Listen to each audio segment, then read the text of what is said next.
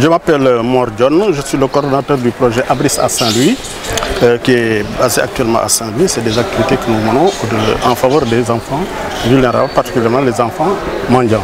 Donc euh, le, pro- le projet Abris parle plutôt d'enfants euh, victimes de traite et de trafic. Eh quand on parle de traite et de trafic, c'est vraiment un terme générique qui donc euh, pousse à la protection de l'enfant dans sa globalité. Le phénomène, euh, la visite sur Saint-Louis a, euh, a des raisons. Simplement, il y a une prolifération d'enfants mendiants, talibés, je veux dire, euh, qui sévit, en tout cas, qui sont dans le département de, de Saint-Louis. Ce phénomène est dû au fait que beaucoup de régions du, du sud-est, ou bien, oui, du sud-est, comme Ziguinchor, Tamba, Kolda, et ces régions-là, bien, pourvoient des enfants vers Saint-Louis.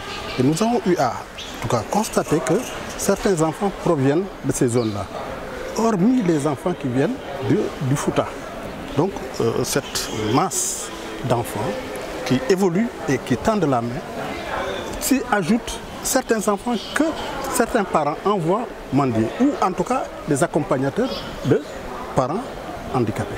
Donc, donc, tout ce phénomène-là, euh, tout ce flux d'enfants, toute cette typologie d'enfants pousse le projet à agir et vite.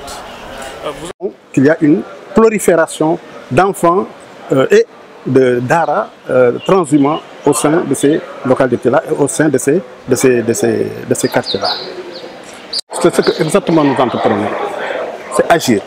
Ce que nous faisons, c'est exactement avertir l'opinion publique. Ce que nous allons faire, c'est aujourd'hui parler avec les décideurs. Aujourd'hui parler avec les acteurs.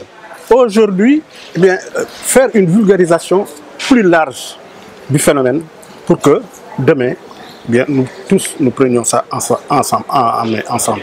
Et c'est ce qui a valu euh, ce- ce- cet atelier qui aujourd'hui euh, met en cause, met en valeur plutôt l'ensemble des, des- membres du CDPE. Le CDPE, c'est le comité départemental pour la protection de l'enfant. Donc ce sont les, les vecteurs de, Saint-Louis qui sont actuellement invités. Et demain, sur nos prévisions et sur nos objectifs, nous allons encore euh, euh, travailler avec les, euh, élus locaux, avec euh, les, acteurs judiciaires, avec euh, la police hein, et avec toute la communauté saint-louisienne pour en ensemble, nous puissions pas éradiquer, mais contribuer à vraiment l'éradication de ce problème. Parce que nous avons fait déjà euh, euh, la cartographie de Saint-Louis, les, les lieux qui sont les plus fréquentés par les enfants et les lieux où en tout cas les enfants euh, effectuent des travaux durs. Et la, la langue de barbarie en fait partie.